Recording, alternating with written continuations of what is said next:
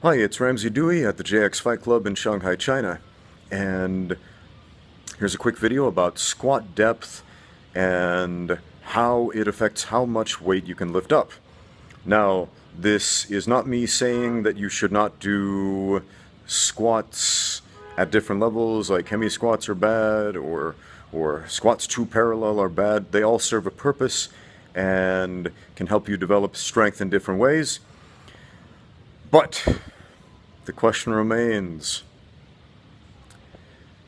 how much weight can you actually push up with the different styles of squats? So I made this quick video to address that question. Hope you enjoy it. Here's a quick video about squat depth and how it affects strength or specifically how much you can lift. So, here I am demonstrating different squat depths. First ass to the grass or all the way down, but the heels next to parallel or just below parallel, which is the powerlifting standard. And then the hemi squat or the cheater squat, where you just go part of the way down and don't reach parallel.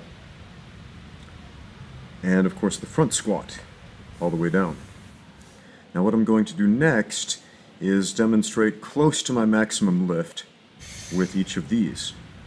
With a front squat all the way down I can lift, well, about 90 kilos. It's challenging. My max is a little higher, but I'm not going to max uh, this many times in one day.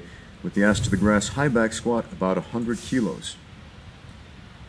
To parallel, I can lift about 110. That's pretty manageable. And with the hemi squats, well, here I am doing 150 kilos, then 180, and I felt like I could do more, but I really didn't want to risk having uh, 200 kilos fall on my back to make a stupid video. So, the conclusion is that a full range of motion is harder than a partial range of motion. As you can see, I'm demonstrating the same principle with curls. These uh, partial range curls that nobody should ever be doing are way less work than the full range. Same thing with a pull-up.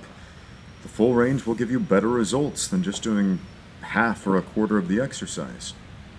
And don't get me started on those CrossFit style kipping pull-ups. They are not real pull-ups. Anyway, full range of motion, guys. Thanks for watching. Now get out there and train.